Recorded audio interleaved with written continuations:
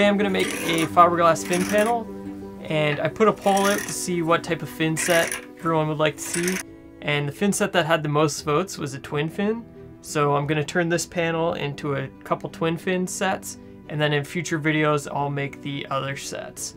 But I have my 36 layers of 6 ounce pre-cut which is to give me a little bit thicker than I need but where I haven't done a panel in a long time I want to have a little bit more fiberglass than I need. And on this set, I'm gonna do two colors and I only have blue and red, so that's what I'm gonna go with. And I'm gonna try alternating the color every three layers. So I'm gonna jump into laying up this panel.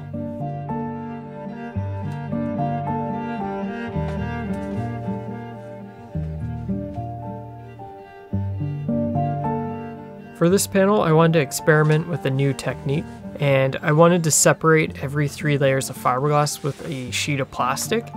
And what I'm hoping to do is lay up all my red panels first and let those get tacky and then I'll hopefully be able to lay up my blue panels in between those. So I'm going to mix up my red resin and start laying up my glass.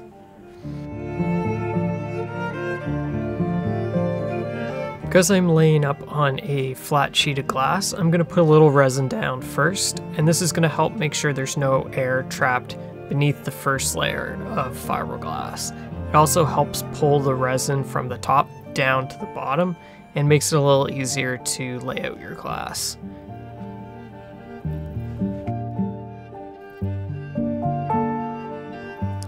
With my first three layers of fiberglass wet out, I'm going to carefully place my first sheet of plastic on top and squeeze out all the air bubbles. The little creases in the plastic I'm hoping are going to get flattened out when I do each layer of glass and hopefully it'll go nice and flat. If not, I'm hoping the blue layers will fill in and hopefully I won't get any air bubbles in the final lamination but we'll have to wait and see how it turns out.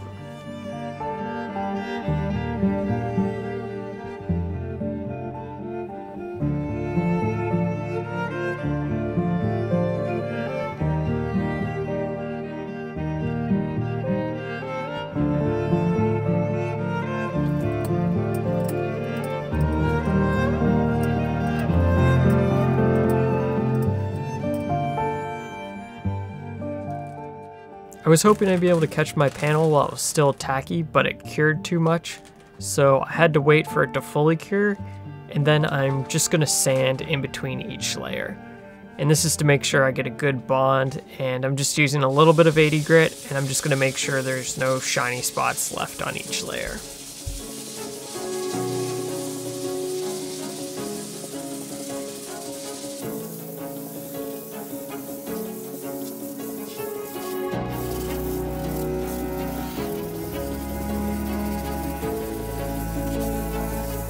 With all the red panels sanded, I'm going to start my blue layers, and I'm going to spread a little bit of resin on each side of the red panel, and then I'll do my three layers of fiberglass, place a red panel, and then I'll do three more layers, and then red panel, and so on until I have all my layers laid up.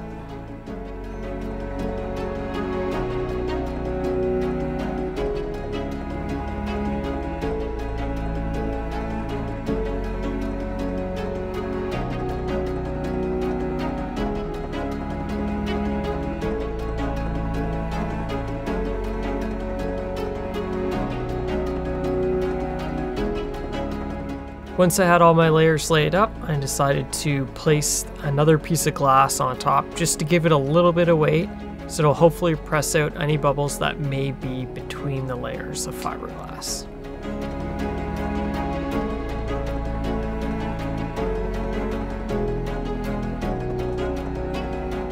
Once my panel cured, I decided to trim the edges off so it was a little easier to work with and it would be easier to cut out my fin templates out of the panel.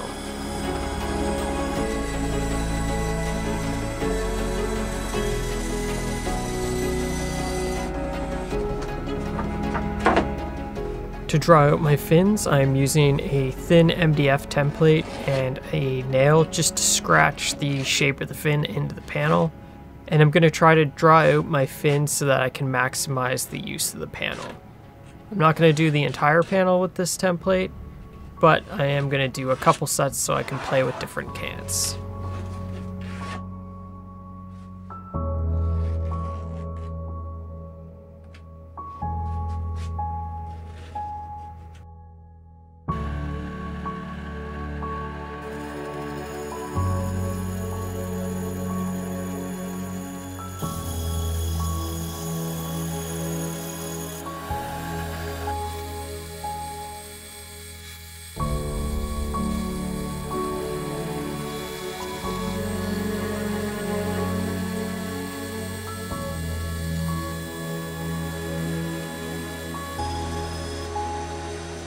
With all my fins roughly cut out, I decided to double-sided tape them to my fin template and try the spiral router bit to trim them to the exact shape, and this worked really well.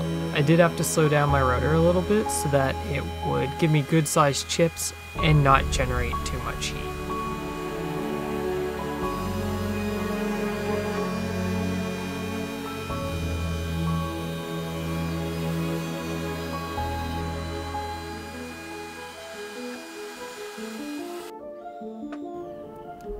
These fins are for future fins boxes, so I'm gonna have to cut the angle of the tab into the fin. So I'm gonna use my router jig and I'm gonna set my first angle at four and a half degrees. And this is gonna be for one set that's a little more upright than the other. And I'm just gonna use my router to cut the angle.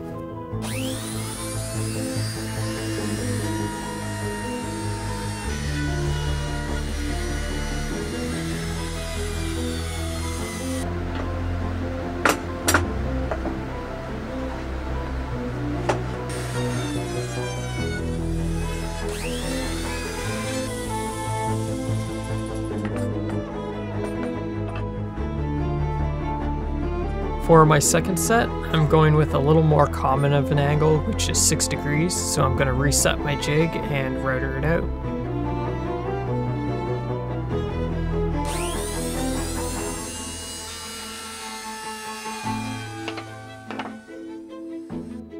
With the fin tabs cut to the correct thickness, I'm going to sketch out where the notches are on the tab so that I can cut them out.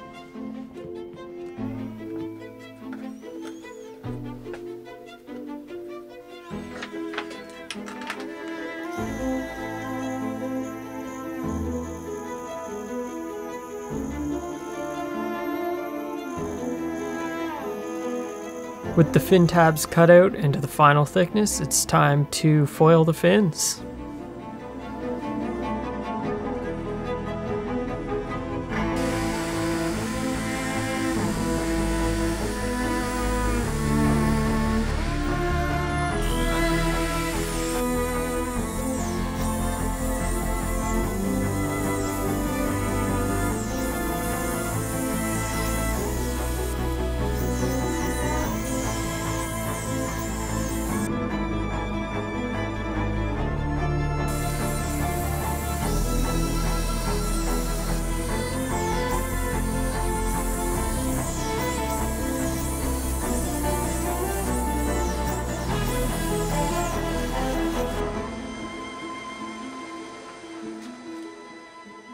After I foiled the fins, I took the random orbital sander and smoothed everything out and went through the grits and then polished the fins.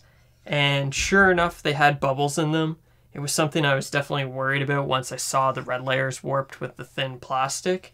It made it really hard to foil because I knew I couldn't trust the layers and I really had to trust just my technique on them. And you can see some of them, like there's some weird warping in them which is like a neat effect, but it's not very good. The other thing with the warping, it made the panel thicker and thinner in different spots, so it really messed with your eyes when you were trying to foil it. There are a lot of little imperfections in these. It's not enough that I'm not going to go out and try and surf them, but it's definitely a learning experience, and I'll try a different technique next time, either with thicker plastic like an acrylic sheet, or I'll do each layer on its own glass panel or I'll go the really long route and do each layer one at a time and let it cure between each color. But for now, I'm gonna take these out and give them a surf, so stay tuned for the next video.